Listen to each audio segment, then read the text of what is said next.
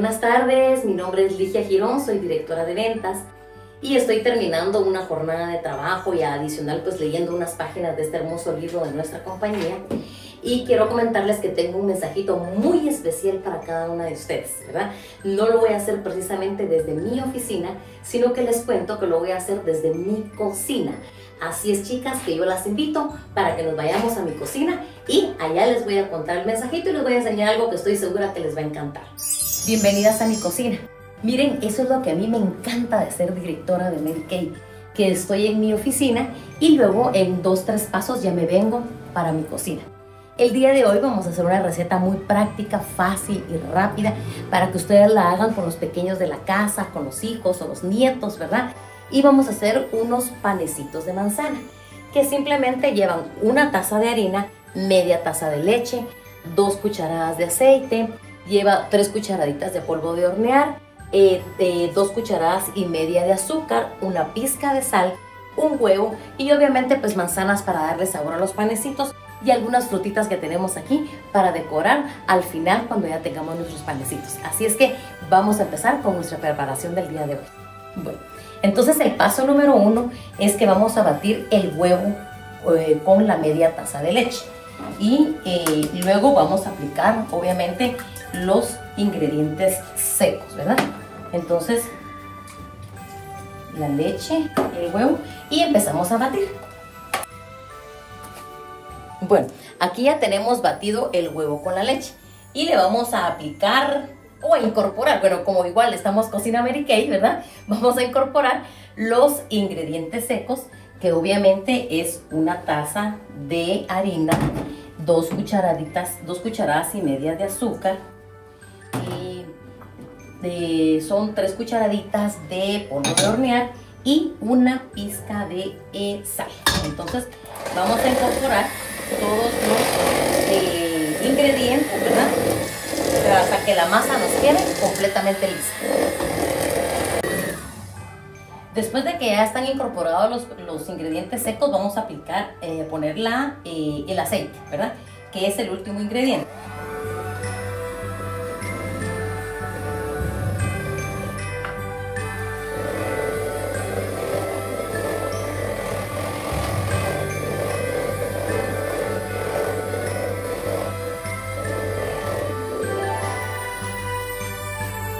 Cuando ya está el aceite y todos los ingredientes puestos en el bol, entonces lo único que nos queda es ya la manzana rallada. La pueden hacer rallada o también la pueden hacer en cuadritos, pero esto sí ya lo vamos a hacer directamente con una paleta. Y si se dan cuenta, pues es bastante fácil poder hacer eh, precisamente estos panecitos que estoy segura que precisamente en esta temporada les van a gustar mucho, son muy prácticos, muy fáciles de hacer son rápidos y yo sé que ahorita pues tienen a los niños en casa, hay que distraerlos pues con otras, otras actividades, ¿verdad? Que ya no sea precisamente que estén en la computadora o en los juegos. Eh, entonces, y la masa queda de esta manera. Ya tenemos la masa con todos los ingredientes y ahora vamos a proceder a colocarlo dentro de su eh, molde correspondiente. Luego que la masa ya está preparada, pues obviamente vamos a preparar un molde como este, si ustedes gustan, ¿verdad? Para que salgan los panecitos individuales, eh, debidamente engrasados. Y les vamos a colocar eh, la masa ya preparada, por lo menos a la mitad de cada uno de los moldecitos, porque para darle eh, opción al, al, crecimiento, ¿verdad? Entonces ustedes ven por acá como quedaron de bonitos. Y ahora pues los vamos a meter de 35, 40, 45 minutos más o menos al horno eh, tenemos que estar un poquito pendientes de eso, ¿verdad? Y estar esperando a que se cosan completamente y luego pues ya decoramos y vamos a degustar los panecitos de manzana. Nuestros panecitos ya están. Miren qué hermosos salieron. Y los vamos a colocar en un plato bonito como este y los vamos a decorar con azúcar glass, con eh, menta, eh, con ah, algo de manzana verde y unas fresitas. Así es que eh, en un momento les enseño cómo quedan ya decoradas.